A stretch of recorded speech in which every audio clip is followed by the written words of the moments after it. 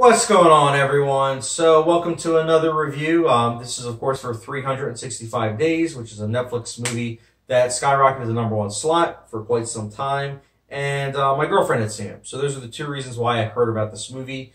And um, if you guys follow me on Letterboxd, you know I reviewed this movie a little over a week ago. Um, I wrote out like a paragraph or so. And even so, I, I, I immediately after I finished the movie, I was like, I don't know how I'm going to review this movie. Um, so keep that in mind. All I'm going to say is I didn't know the premise going into this movie. I just, again, figured I would see it. Why not?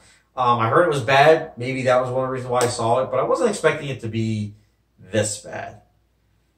365 Days is a well shot movie for the most part. I will give it that. It has solid cinematography. For the most part, I can say that that was something that was consistently enjoyable. Unfortunately, listen to this premise.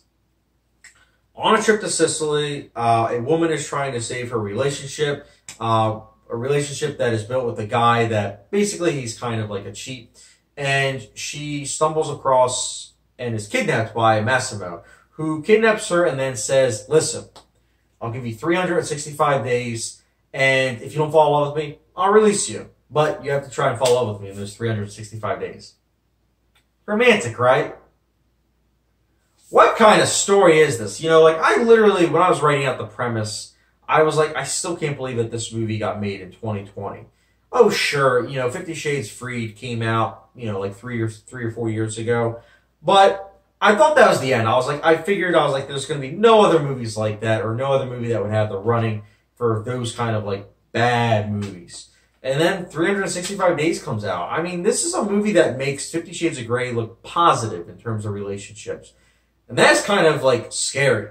Because, you know, Fifty Shades of Grey trilogy, at least Anastasia, played by Dakota Johnson, at least she had relatively a choice. You know, she did sign a contract through all this, so she knew what she was getting herself into. By signing this contract, don't get me wrong, I think the whole contract thing, I think it is problematic, but bear with me with me explaining this. At least she had that choice. She had the choice of, you know, being in this relationship or not. Even though, again, Christian Grey is very creepy, 365 days, she doesn't have a choice. So there's no real development or motivation to this other than just watching this creepy guy try and make her fall in love. And it's like, what are the choices she have? She doesn't. She doesn't have any choices. And it's like when a character doesn't have any choices, it makes things for quite a bland experience. Sure, sometimes in a story, you have characters where it's like, you know, it's fate. It's meant to be like this. But when you have it like this, there are issues to be had, especially when the character succumbs to the guy in this movie. I think it's a movie that is quite offensive, you know, and problematic to boot. Um, if you're watching this movie just for the sex scenes, I hate to say it, but I do think that you're in for a rude awakening because the sex scenes aren't even sexy or well choreographed, honestly. For the most part, it is bland in its approach. Very vanilla. Don't get me wrong, there's a scene where it's like, never mind.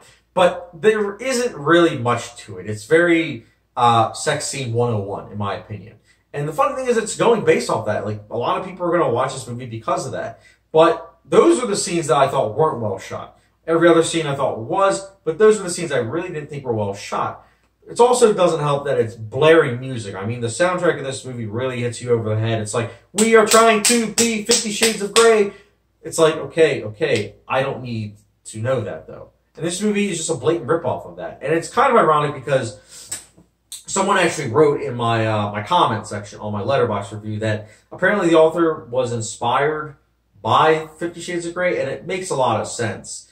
Um, what's kind of sad is also this movie is directed by a woman, and there's not like there's nothing really special about the directing. In fact, the directing is very problematic too because of where the characters go from point A to B to C. The director is the one that's leading the charge with that, and where it goes at the very end, I was like you got to be kidding me. Why does every movie try to set up a sequel these days without being able to hold up on its own? That's this movie in a nutshell. It's setting up for a sequel for an ending that is very anticlimactic. When it ended, I was like, are you serious? Are, are you for real? So overall, this movie, the chemistry, it's not there between the actors. The sex scenes are very bland.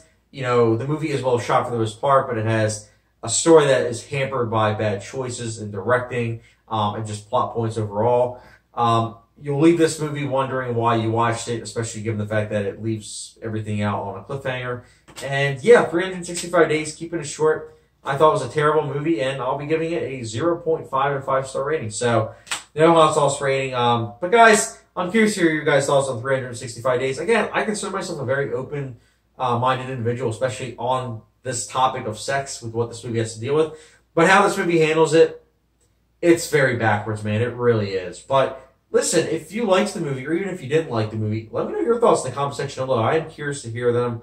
And um, yeah, as always, thank you very much for watching. With the subscription, notification bell, and I'll uh, get you guys later.